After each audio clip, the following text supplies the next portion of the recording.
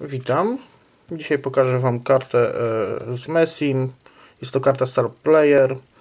Messi poza tą kartą wyszedł też e, na karcie Top Master. Tutaj w porównaniu z kartą Top Master parametry są troszeczkę niższe, ale fajnie się ją gra. Można pokombinować. Tak to wygląda. Zostało mi ich dwóch, miałem ich trochę więcej. Pozdrawiam.